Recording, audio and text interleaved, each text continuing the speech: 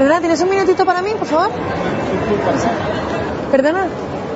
¿Tienes un minutito para mí? Eh, Perdona, ¿tienes un minutito para mí? Eso es muy cortito. ¿Cuál es, Manuel? ¿Tenéis un minutito para mí? Pero no somos de acá. Pero da igual, ¿eh? Perdona, ¿tienes un minutito para mí? Perdona, ¿tienes un minutito para mí? Es un segundito solo, ¿eh? Que no voy a tardar nada. Es súper cortita, de verdad. Por favor, se lo pido, por favor, por favor. Es que me pagan por encuesta. Por favor, por favor, estoy desesperada, de verdad. ¿Me contestas a una encuesta, por favor? Es para una encuesta sobre los hábitos sexuales. Perdona, ¿tienes un minuto para mí? Me has asustado, ¿eh? ¿Que te has asustado? ¿Por qué? ¿Tienes un minuto para mí?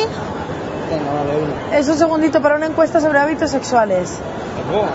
¿Tiene pareja? No. ¿Cuándo fue la última vez que mantuviste relaciones sexuales? Ayer. Ayer. Eh, del 1 al 10, ¿cómo te valorarías como amante? Pues un 8. 7. 3, 4. ¿Un 3 o un 4 te pones solo? A ver. De nota. No te Ah, de nota. 9. Tú sabes de otras cosas, ¿no? ¿Cuántos orgasmos, cuántos polvos? ¿Te importaría hacerlo en un lugar público? Sí. pille. ¿Y con una desconocida? Sí. O sea, con una persona que acaba de conocer como yo, ¿lo haría? Ahora mismo no. ¿Y lo harías conmigo? comprometiendo? O sea, que no tengo posibilidades yo. No. ¿Por qué te ríes? no, que ahora mismo no, pero vamos, que dentro de dos horas o cinco horas quizás sí. Ah, o sea, que a lo mejor dentro de 5 horas yo le vengo y sí que lo haría conmigo.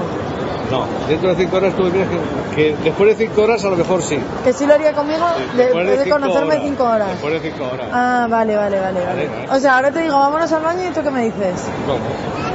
Vamos. ¿Esto es una encuesta o qué? No, no, yo- puedes contestar lo que quieras.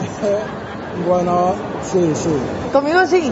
Si te digo ahora, vámonos al baño, nos vamos. Joder, no. Responde que no entonces. ¿Y si te invito ahora a un café? Ahora tengo que ir a clase. ¿Tienes clase? ¿Y a qué hora sales de clase? Tarde, muy tarde. No es porque no, pero ando ahora con los, con los exámenes y